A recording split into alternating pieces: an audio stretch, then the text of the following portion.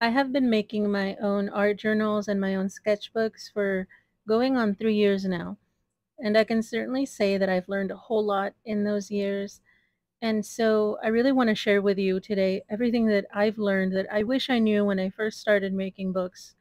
And I also want to share with you some great news about a journal that I have made, especially with my own designs.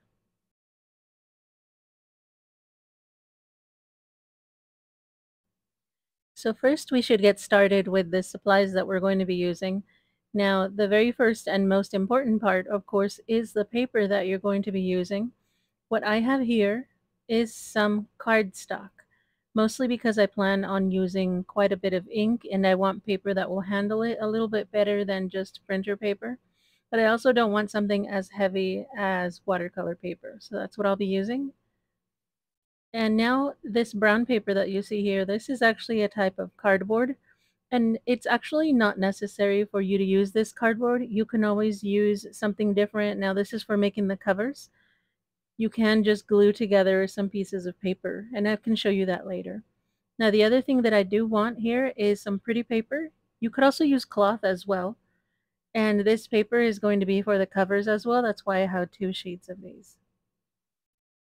Now, something that I, I don't like to skip is this kind of string. This is waxed string. It is nylon. I do believe you can also find this in a more natural fiber if that's what you like. But this nylon string is very strong. And because it's waxed, it actually does a great job of staying in place while you're working with your pages. Here I have a white version and a gray version. You can get them in all sorts of colors. And these are actually very affordable if you go online and look for spools of these. So this is great for using. You can always use regular string though if you want to. Now the next thing that was very important for me is using one of these curved needles. You can also find these as upholstery needles. And it is really important for the type of stitching that I'm going to do to use one of these curved needles. And throughout this video, if you're ever wondering what these supplies are or where to find them, I will make sure to link in the description so that you can go check them out or just take a look at them so you really know what they are.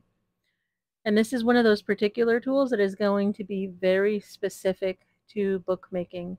See this right here? This is a type of awl and it is used for punching holes in your material. And this one that I have here, I want to show it to you. It is very long and pointed, very needle-like. So you'll see it's actually very similar to the needle that we're going to be using. I also have another one that is actually a, a pottery and ceramics tool. This is a needle tool. These are very similar. This is actually the kind of tool that you do want because I'm I have received a tool for punching holes that isn't very good for bookbinding and it looks more like this. This came in a set that I got last year and it doesn't really work very well for bookbinding. The holes it makes are too big. This is actually more for working with leather or upholstery or anything that's kind of bigger or bulkier. So you don't really want an awl like that.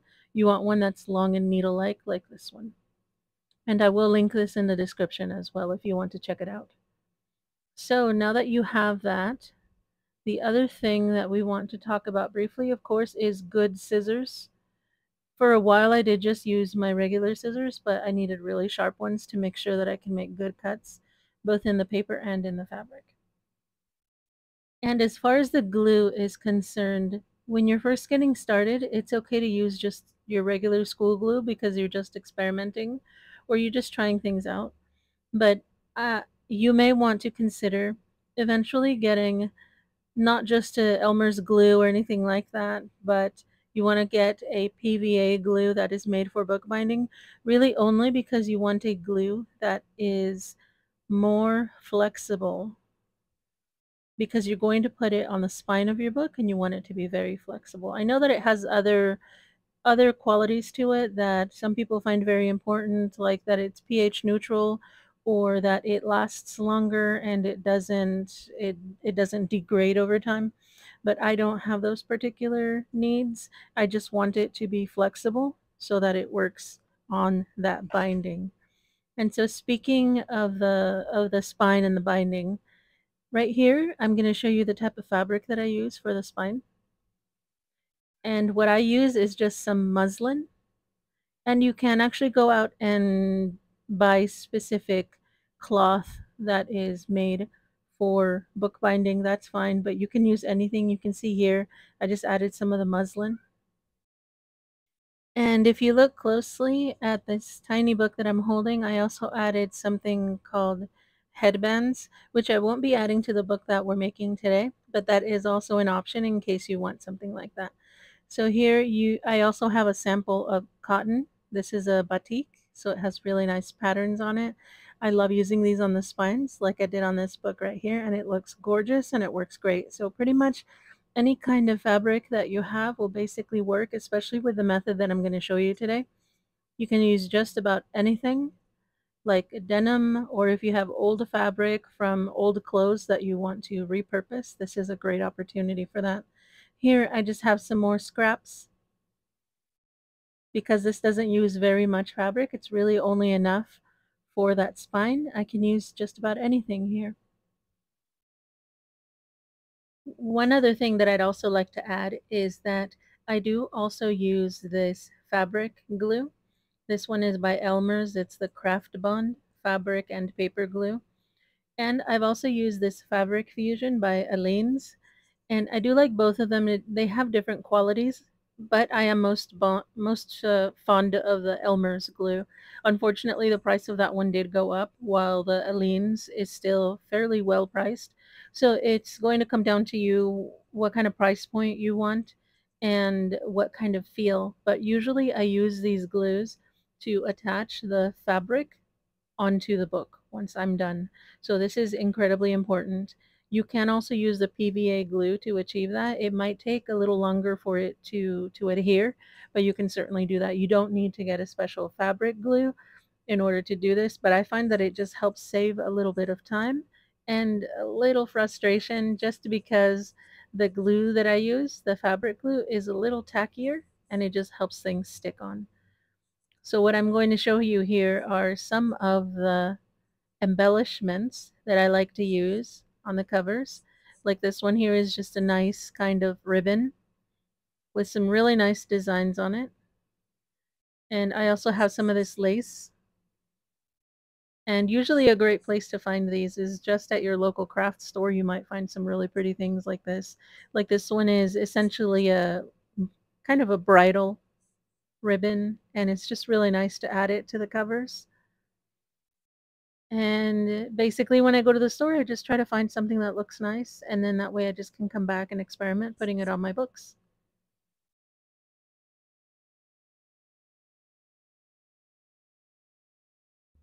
So now that it's finally time to start putting this book together, I really like to get started by folding my pages in half. What I have here is just printer paper sized paper. And so I just fold it and then come over here to my paper cutter and start getting those pages prepared so that now they're ready to go and I can start joining them to create my signatures. So here I have one sheet and I have a second sheet and I just add a third one.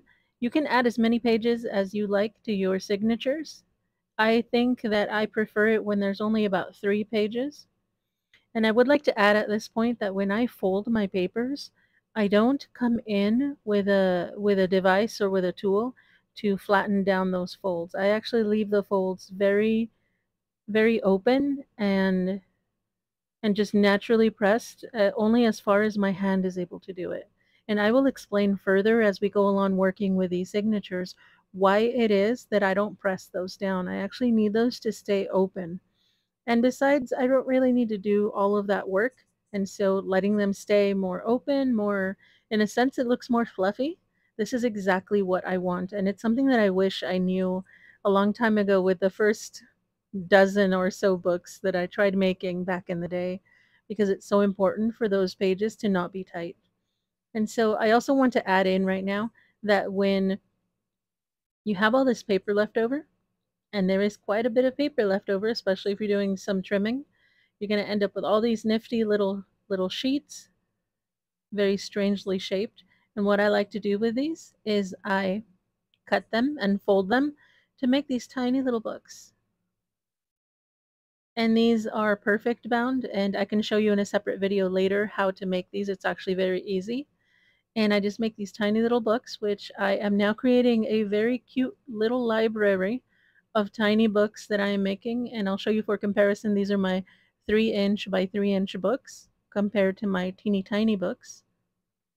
And then we'll compare that to the one that we're making right now, which is approximately five and a half inches by six inches. So it's not quite a square, but very close to a square. So now let's get started putting these together.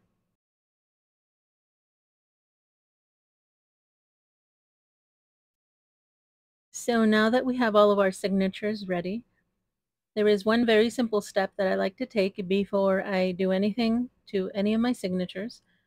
And so all I'm going to do is I'm going to line them all up and I'm going to take my pencil and very gently make a pencil mark along the outside.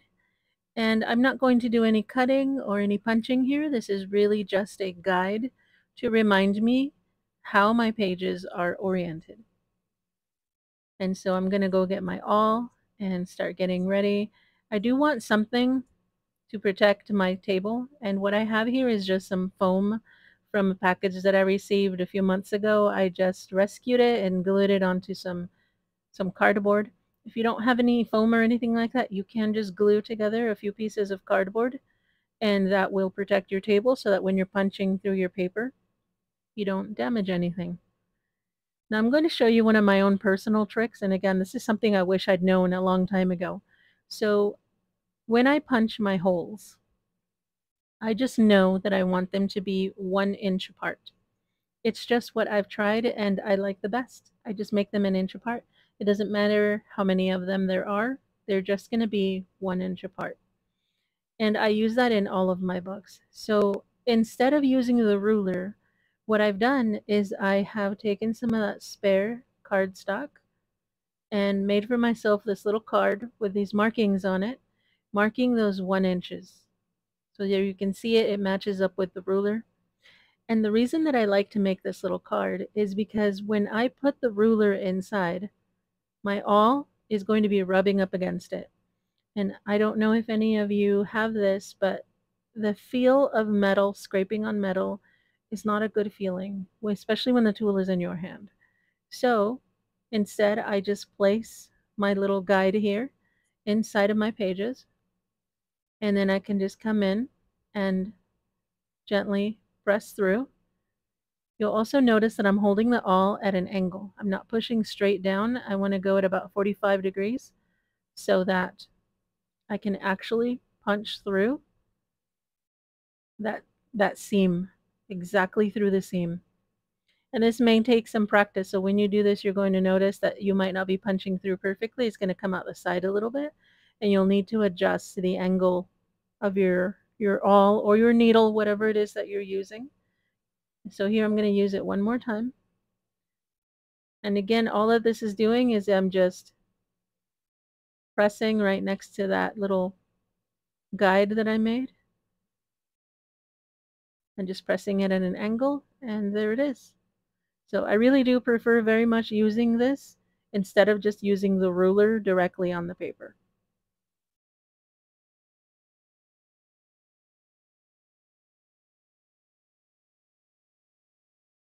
So now we get to do the part of book binding that really makes the book, but it's also the most tedious part.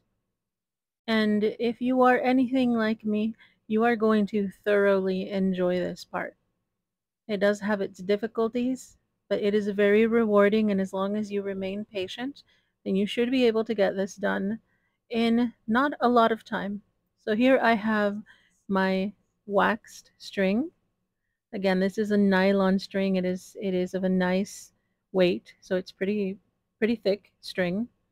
And what I'm going to do is I'm going to use the length of my spine here as my guide. And it essentially is going to be my ruler for this. So what I'm going to do is just measure my string up against the spine And I'm going to count out the same number of lengths as the number of signatures that I have. And so for this book, I have 17 signatures because I want to have 100 pages in this book. So 17 signatures gives me exactly 102 sheets or 102 pages, which is exactly what I want. That'll give me a 100 page book. And so I'm just going to count out 17 exactly, plus a little extra, just to make sure I don't run out. And then I can get threading through my curved needle so that I can get started. If you've done any stitching with anything else, you this is probably going to seem very familiar for you. I know it was for me. I've done a lot of sewing and embroidery in the past, so this was very familiar to me. So in order to get started, I'm going to just pick up my first signature and I'm just going to go inside of it. So from the outside heading inward, I will just stitch through and pull my string through.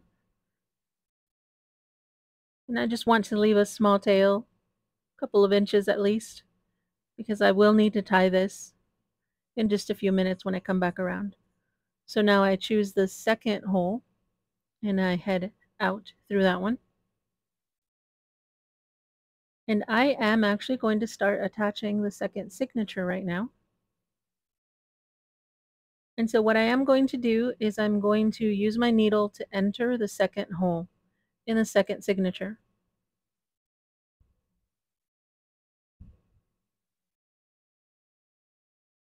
And then I pull through. And then I'm going to exit the third hole in the second signature and pull through.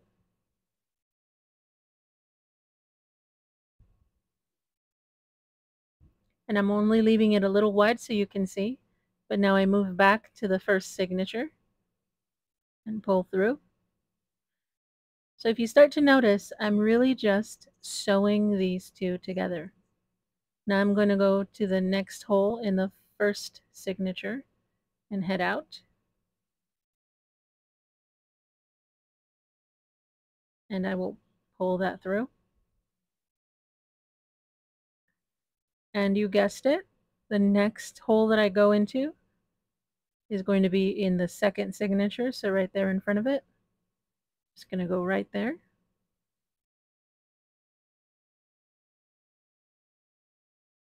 And then just go in and pull that through. When you're starting off like this, there's going to be a lot of length and it might get twisted up, but just work with it and be patient. So now I go through the last hole in the second signature, pull it out,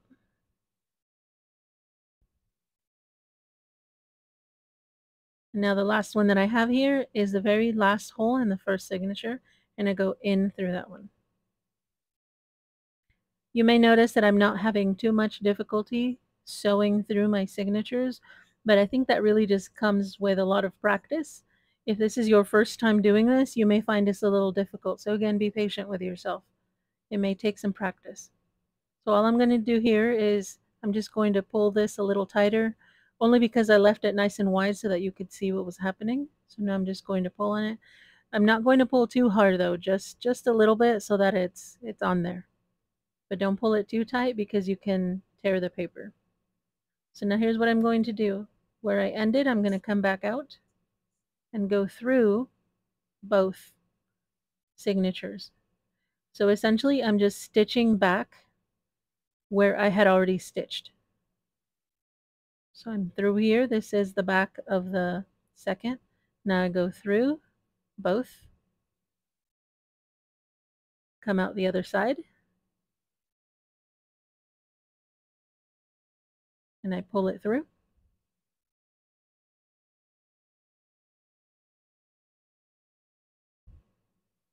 So there we have it. And now I'm going to go into the next hole right here and go through both signatures. Perfect. So once I'm there, I'm going to pull on that, bring all of that string through. And now I just have one hole left, but I'm not going to go through both. I'm only going to go through one, just the one right there. And I'm going to bring that through.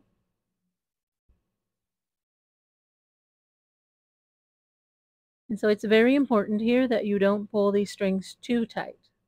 You will tear the paper and also we need just that little bit of slack for when we fold them this way because we are going to be working with those. So again, make sure you're not pulling it too tight. I've noticed in so many others that they like to pull it tight, but here we're just going to make a square knot just like that and pull it a little bit just to make sure it's on there, but not too tight. So if you notice that in other videos they tell you to pull it really tight, I am going to tell you the opposite. Do not pull it tight. We want things to be nice and fluffy here. Nice and loose and gentle. So here's what we're going to do when we add that third signature. So we are going to bring that third signature in and lay it down next to the other. So here's mine. Notice here are my signatures. And I'm going to take my needle and right in front of it, I will go in through that third signature. And if you have seen any other tutorials or any other videos for this, I am following the same kind of stitching. Eh, this is very, very much a standard kind of stitching. So now I take the needle and I go out through the second hole and I pull my string through.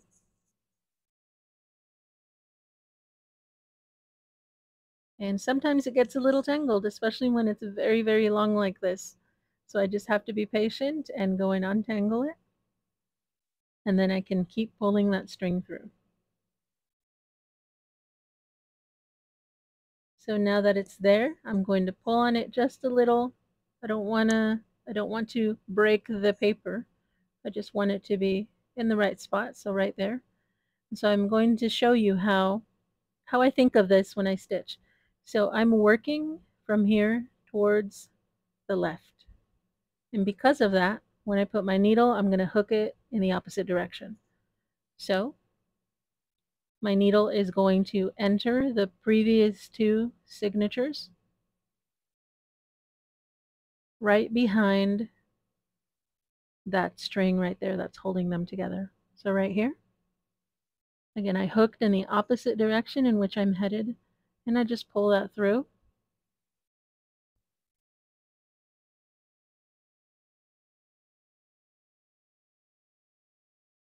And there it is. Pull it through. And now to complete this stitch, I'm going to go back into the same hole I just came out of on the current signature. And so I go through and I just bring it in and pull the rest of that string in. There we go. Now we're just going to continue this way through the rest of the signature. I'm going to come out in the next hole.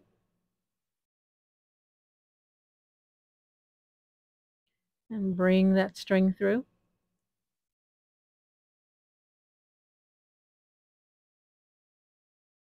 So again, I'm working towards the left, so I'm going to hook the needle in the opposite direction. And so my needle just goes in there between the previous two signatures in the opposite direction, like that. And once it's in there, I take it and I just pull my string through. And this is exactly why that curved needle is so important. I have done this with straight needles and they work just fine, but it, it's a little more frustrating and I'd like to just avoid that frustration here. So I just go back into the hole in the current signature, same one, and I just go inside and pull all the way through and tug on it just a little bit. It doesn't have to be incredibly tight. Come out the next one.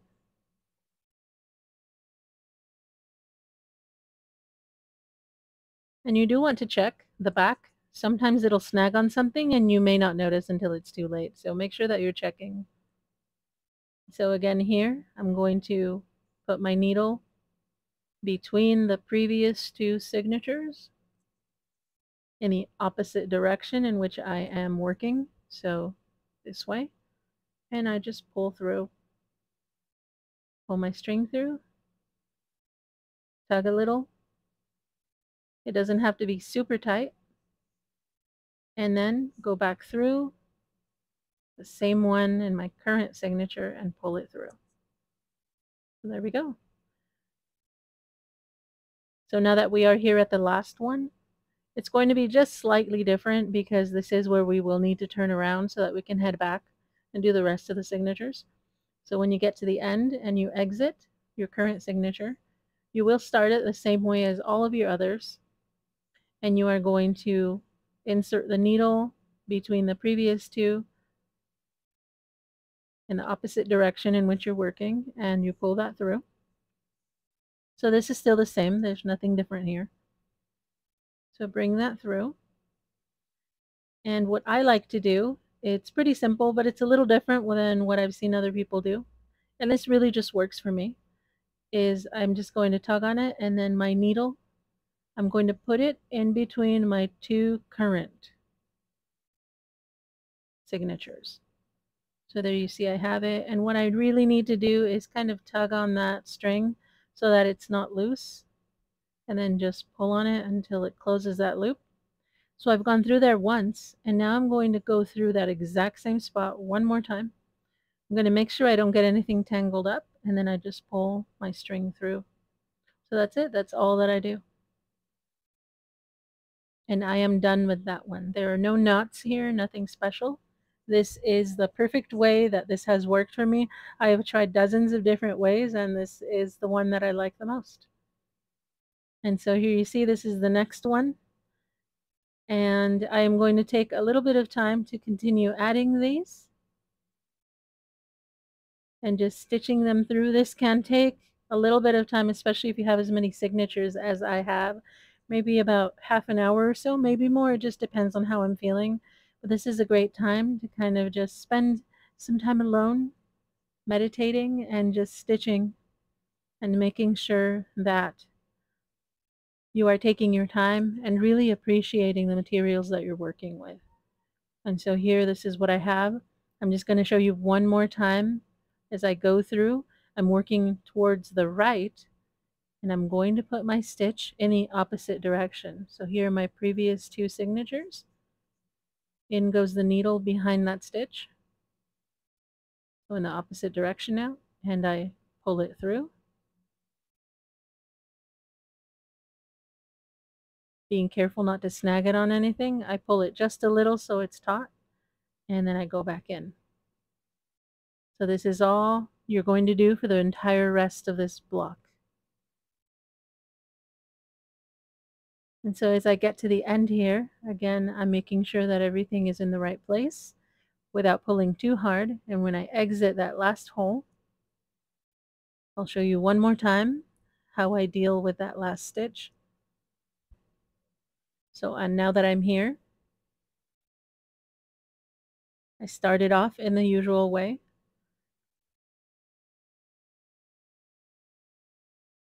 And what I'm going to do is insert the needle behind the stitch on the previous two signatures. So that's right here. It's a little difficult to see, but it's right there.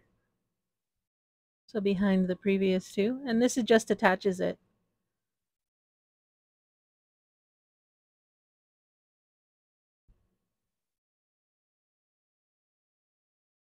Okay, so now that it's attached, I go behind the current two.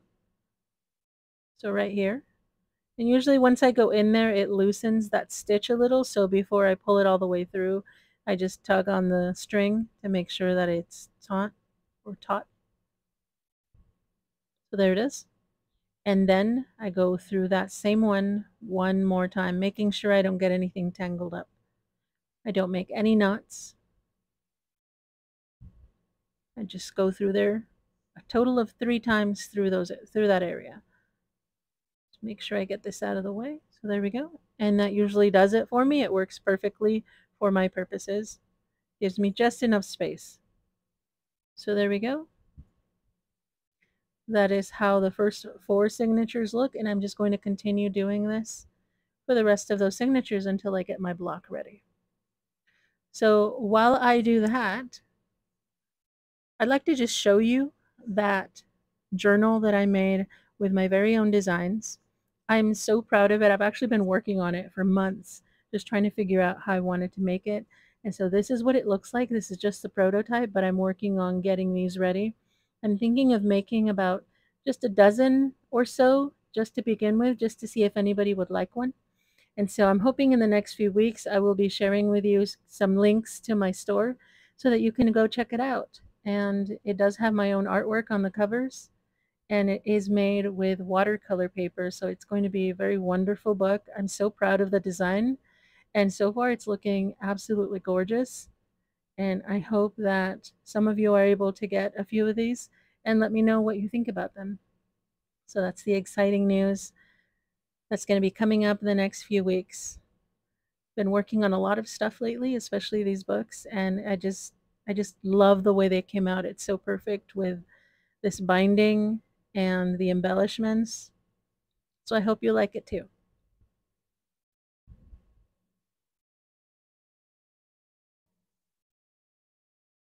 So now I'm here at the end and I have joined all of my signatures and it took me about 30 40 minutes i did like i did take my time quite a bit it was a lot of signatures but i'm here at the end now and i'd like to show you what i do at the very last one. I know i've seen people do all sorts of things here when they finish their binding in order to close it off but i'm going to show you that this is all that i do as i get to the end here.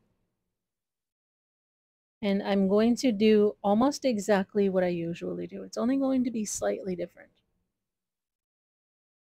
So when I exit that last hole, I am going to do the usual thing and go through the previous two so that now it's attached. Just tug on it a tiny bit.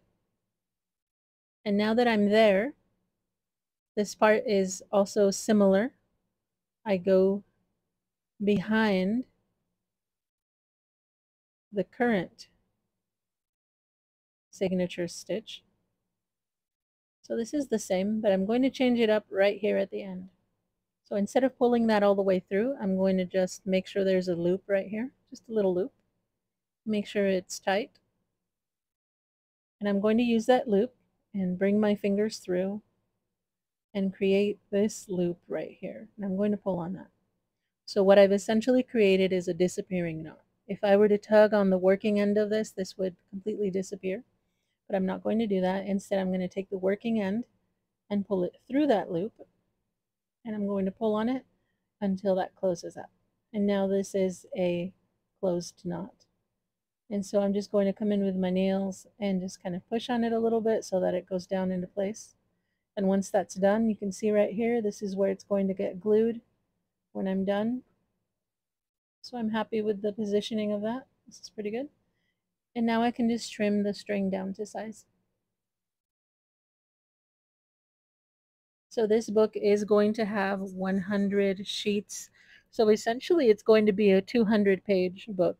So that's why you can see it is a very wide page block.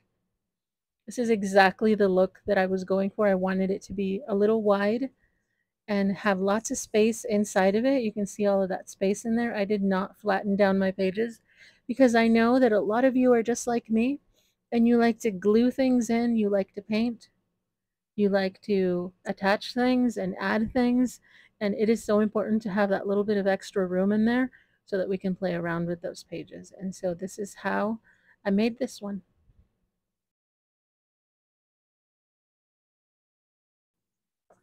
So in this next stage, something that I learned to do after a while after a lot of frustration was to add these little spacers inside of my signatures when I move on to the next phase, which is the phase of preparing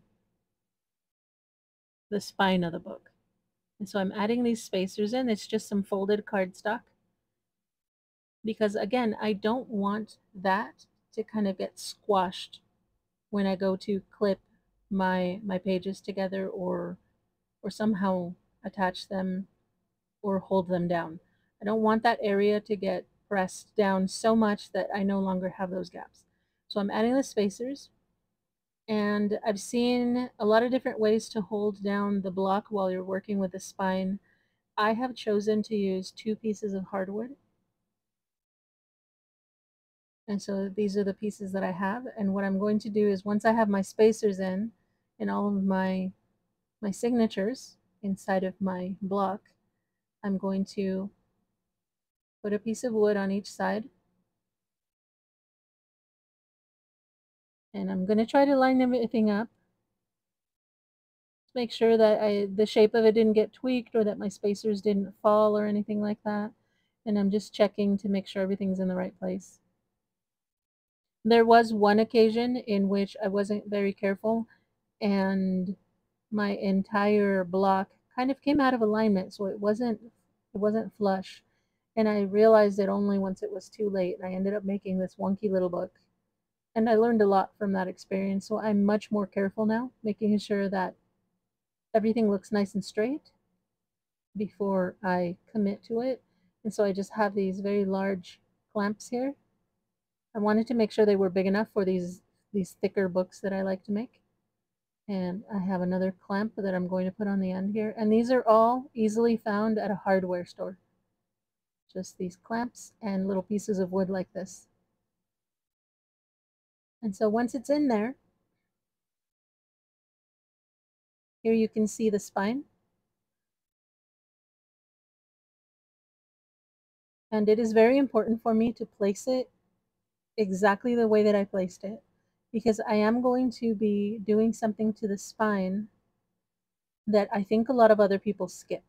And again, this is one of those things that I wish I'd learned because I just, over the years, I saw so many different tutorials and a lot of people just skip straight to gluing here and I'm going to show you why I'm not going to glue right now. See right here? There are these very deep ridges between the signature or between the signatures. And those deep ridges are going to hold a lot of glue. And I don't want that. So in order to stop that from happening, I'm going to find something, pretty much it can be anything, so that I can press those down on the spine and flatten them out. And so what I have here is just this really pretty stone. And I really just like it because it's smooth. I have very many of these that were gifted to me and that I inherited from family. And this is the one that I like the most. It's very smooth. And I just use it to press the edge.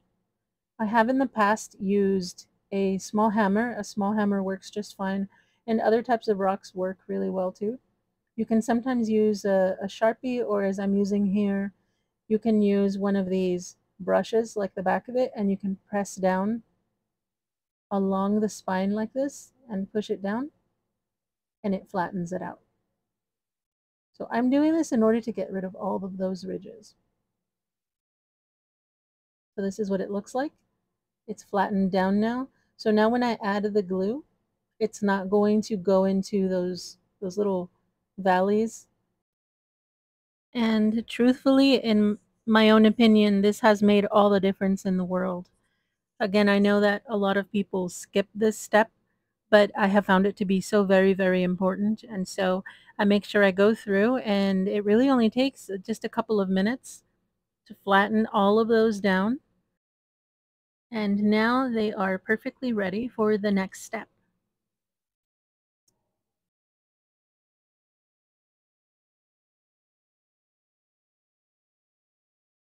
So now I'm going to move forward with the next step. And this is a pretty standard step in a lot of bookmaking or in a lot of bookbinding.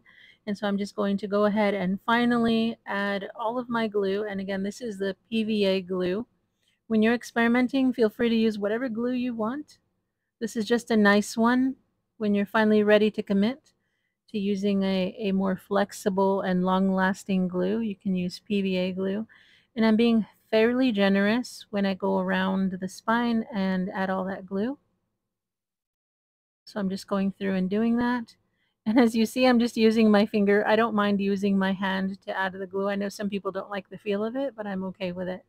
So I'm just going to go through and add a very generous amount, not skipping the, the area where I stitched. I want to make sure that, that I get glue in that as well.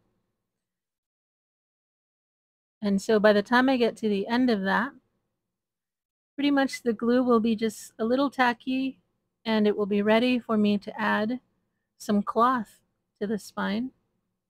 And as I mentioned earlier, the cloth that you use, you can get the special kind that you can find online or at a special store.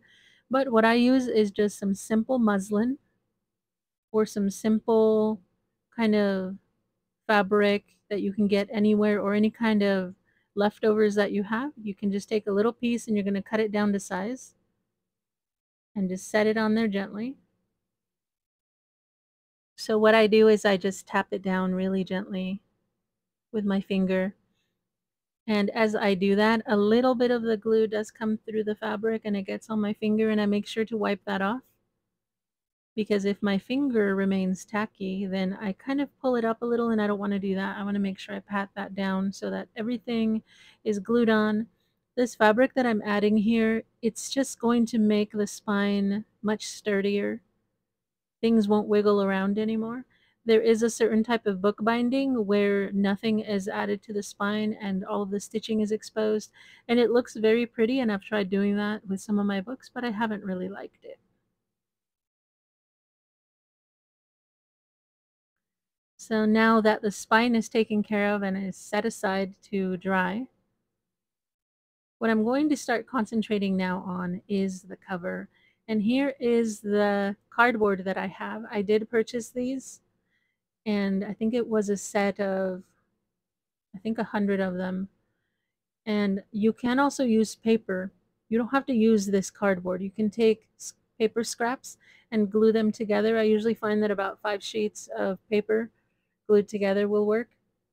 But this cardboard that I have found, it is a little too flimsy to just use for the covers.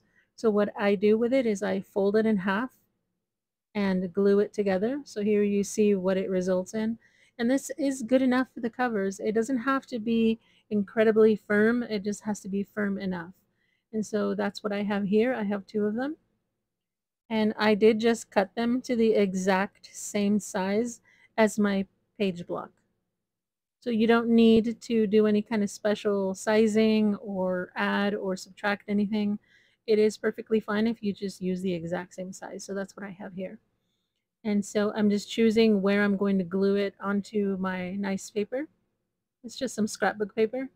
And I'm going to just cover that whole side in some glue to get it ready. And I'm going to use a brush and this is actually going to be the very last time that I use this brush because it is a very annoying brush, but I want to show it to you so that you look out for this when you are choosing a brush to do this with. And so this brush does a great job of spreading the glue around, and you do want to spread the glue around, especially on your covers.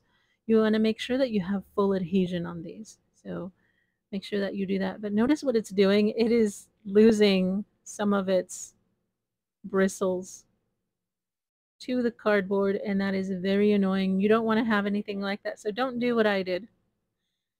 Try to get yourself a brush that won't do this. And so I had to go through and pick those out and then smooth the glue out again. And now I can actually set it down onto my paper. And so now that I have it on there, I just make sure that there is some paper on the edge because I will need that excess to fold over and it's not a lot. It can be anywhere between half an inch to an inch, depending on, on what your preference is. You just need to be able to fold that excess over once the glue dries. So I just go around checking it. If you want to, you can use a, I think it's called a bone tool, or you can use a marker, or this thing that I have here, it came with another, with something else, just something to smooth it out. And so specifically for the covers, it is very important to make sure that you have a nice smooth adhesion. This is the one place where you don't want to you don't want to skip any steps. So make sure that the glue covers everything and make sure that your cover is on there really nicely. Otherwise you're going to end up with these weird bubbles in your covers and you don't want that. So I'm just coming in and trimming it. And so because of the way that I make my books, I'm actually going to trim the paper right here up against the edge of the cardboard because of the way that I make my books, I don't need to fold this over. It can be just like that. So I'm just going to trim it there and I'm only going to be working with the three edges that remain. And so because I'm going to be folding that paper over, I'm just going to trim it right here. Make sure I don't trim right up against the cardboard, leave some space. So like so. Leave just a little bit of space on that corner. If you cut it too tightly right here, you're going to end up with with some of that cardboard exposed and it's not going to look pretty. So make sure that you leave some of that paper right there. And so now I can just come through and I'm going to glue these down.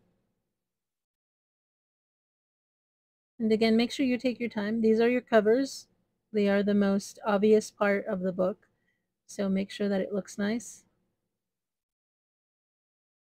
With the first few books that I made, I didn't really take my time. I just kind of was a little sloppy making these and I re- definitely regretted that later when I noticed that that the covers didn't look the way I wanted to or just they looked sloppy.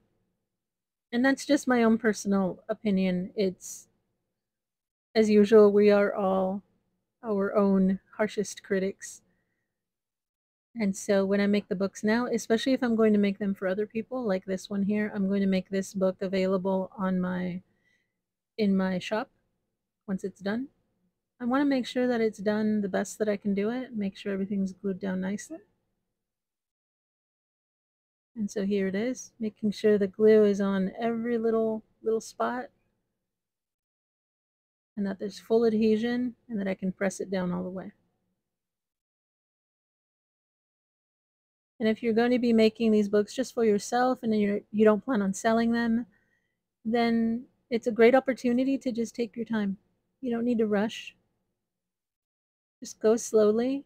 And so here you see I'm tucking in those little those little edges there. I just press them in. So just take your time and pay attention to all those little details. I figure that if I didn't want to make these, I could just go and buy one and it would be easy enough. But that's not what this is about. It's about having something to keep my, my mind busy, something to troubleshoot, something to experiment with. This has been a great, great hobby for me. I really do love making these. It's there's just something about it and seeing it all come together. And of course, any of you who who visit my channel know that I draw a lot. I draw a whole lot. And so it's really important for me to have journals ready without me having to go to the store all the time and just buy journal after journal after journal, it's going to end up being quite a bit.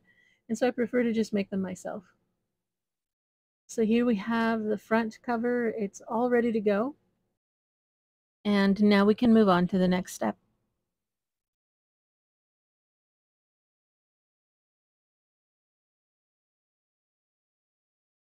So once I have both of my covers ready, and I have them right here, so I made sure that they were cut from slightly different angles on the pages so that they didn't look identical. And that's really just something that I like to do.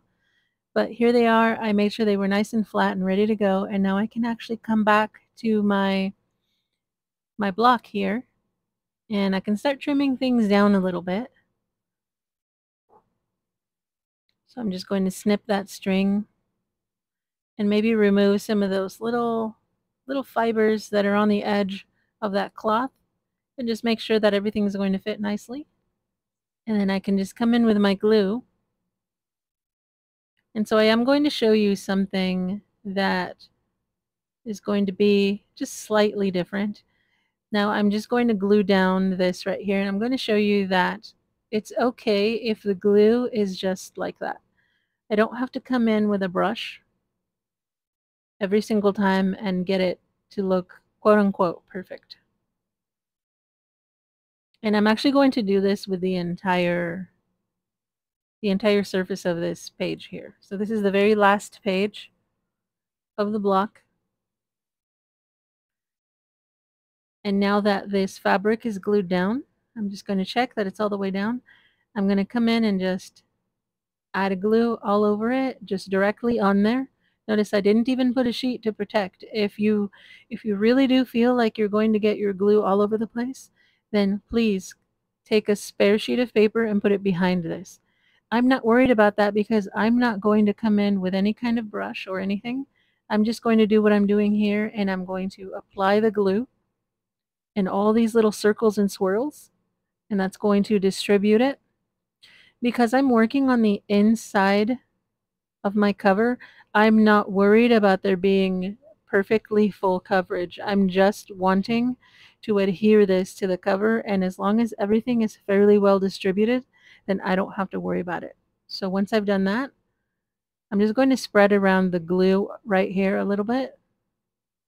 And then I line up my cover and press it down only very gently, not too much.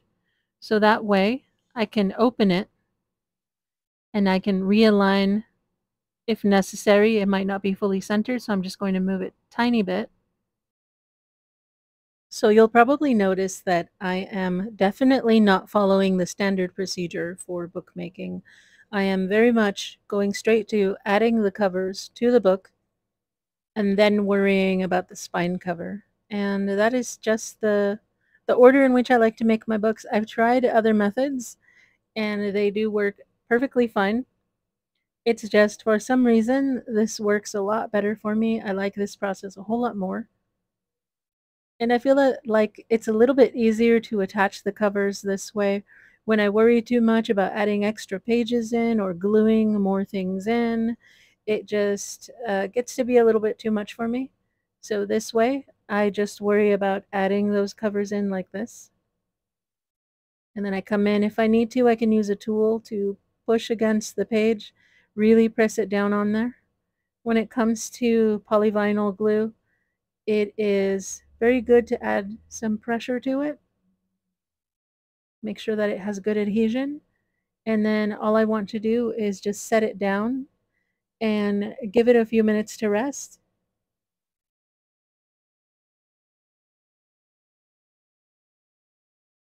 And so once both of my covers are glued on, and so they are here, I'm going to go find some fabric. And in this case, I decided to go with some denim. And it's just a fairly light denim. And what you see here is that I've cut a piece of it that is just wide enough to go around my spine. So this one is exactly three inches wide and I did make sure that it was square. So I wanted that to be nicely lined up. And you can do this all sorts of ways. You can make yourself a template out of cardstock or paper and use that. And so what I'm going to do here is that very edge that's going to go on the bottom, I'm going to just glue that. I could stitch it. I have done that with some books. I could do that. In this case, I'm just going to save myself a little trouble and I'm just going to glue it with that fabric glue that I have. And you'll notice that I'm using the top of my book as a guide. This will help me make sure that my shape is square. And what I mean by square, it's to make sure that those angles aren't wonky. And so once I have it set, I take it off of the book and I use my table surface to press it down further because some of that glue does come off and I'll show you here how I deal with the other end. So again, I'm on top of the book. And I'm just going to add some of that fabric glue very gently. I want to make sure that I don't push it through and then end up getting the book dirty. If you're worried about something like that, you can add another piece of paper over your cover to protect it so that you don't get anything seeping through. But with this glue that I'm using, it doesn't seep through unless I press really hard. So I'm just going to push it down very gently. Just to make sure I have the right shape. So this is going to ensure I have the exact length and that the edge is square. And once I have that and I know that it's where I want it, so there it is. Now I can move the book aside and just keep pressing it down just on my on my table. And so once everything is pressed down nice and firm, and this really only takes a couple of minutes, and the glue is, is firmly set for now. It isn't fully cured, but it is set. I can come in and just trim that excess. And so once I get that trimmed nicely, I am ready to move on to my next stage.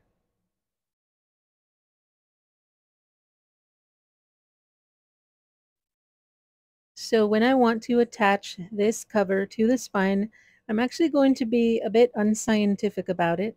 And I'm just going to hold it up against the spine, the way you see here. And when I hold it there, I'm going to find where it's centered. And once I find that perfect spot where it's centered, I'm going to check both edges. And it just takes a few seconds as you see here. And I'm going to hold it and just check that it is as centered as it can be. And once I've found that perfectly centered location, I'm just going to hold it gently. And that way I'm just going to turn the book over and once I turn it over just like this, I can just hold down that edge exactly where it was. And now I can just use that to mark very gently with my pencil where the edge of that lies. And so now I know exactly the area where I need to add my glue so that I can adhere this. And so I can just set that aside for the time being. And I'm going to take my glue and again, this is the fabric glue. You can also try this with your PVA glue. That will work just fine. You might just find that it's going to work just a little differently when it comes to drying time or adhesion time. This glue is incredibly tacky. And so it really isn't very forgiving. If I end up needing to pull the fabric off to reposition it, I have to reglue the surface all over again in order to do that. So what I do here is I'm very, very careful because I don't want to have to do this again. And I lay down my fabric exactly where I know it needs to go and very carefully line it up, make sure it's in the right place, and then I start pressing it down.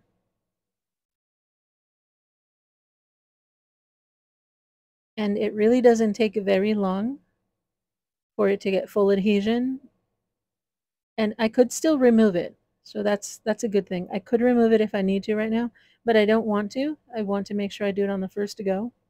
If you don't like the the idea that you can't really fix it, then you might want to try the other glue, the Aleene's Fabric Fusion, instead of the one that I'm using. And so as you see, I just turned it over. And I'm just marking the edge of where the fabric is going to go.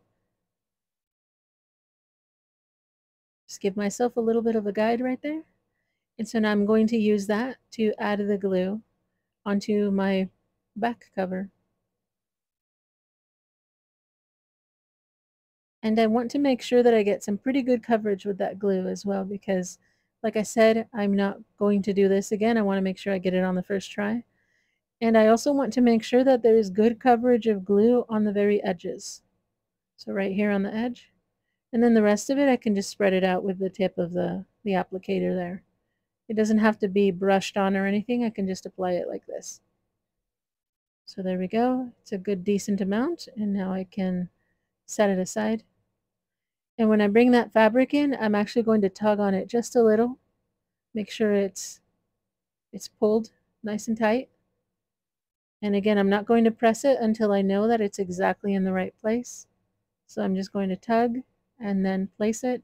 I notice that if it's too loose, it doesn't look as pretty, so I make sure that it's nice and tight like that. So there we have it. And I do not want to trim those little fibers right now. I will come through and trim them once the glue is set a little more. So here you have it. It's pretty close to being centered. And now we can move on to the final stages.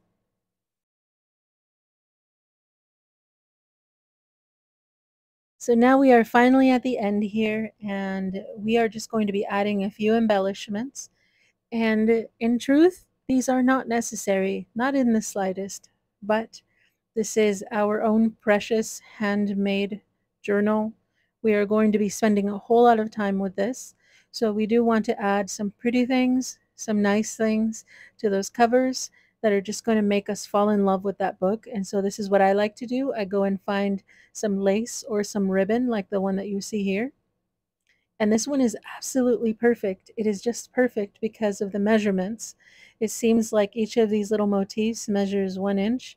and it happens to be the exact same length as my book. And so it's like it's just calling out to me, saying that it needs to be on this book.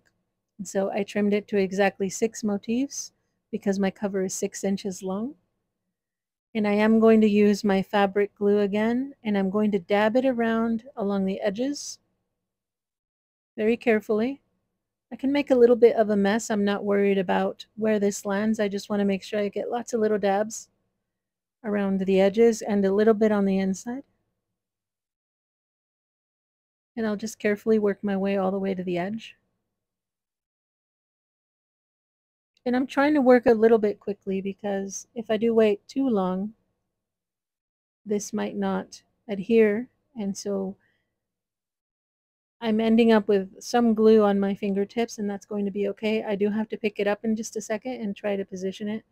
There have been some in the past that I did not position very well and I learned from those. And so here what I'm going to do is I'm going to start guiding it along the bottom and very gently set it down without pressing it.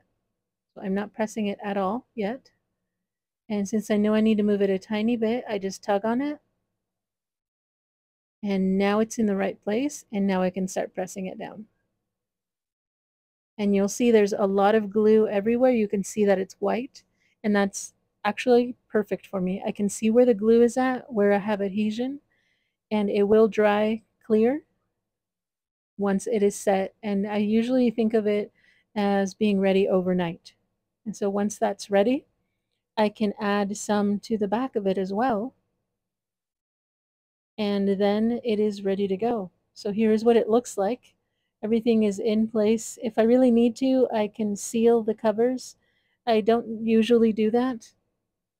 So here's the back cover with some ribbon on the back. And here is the front complete and ready to go. It is a hundred page book I hope you really enjoyed it. It was a lot of fun to make. And if you try making one of these, please let me know. There are a lot of steps, and I tried to share with you all of the little tips and tricks that I've learned over the years. And hopefully, this helps you. Feel free to ask me any questions in the comment section. I will do my best to answer and to help you out in case you are trying to make a book like this. So, thank you so much for joining me. This was a lot of fun. I hope you have a lot of fun making your own journals. Thank you so much for watching, and I hope to see you in the next one.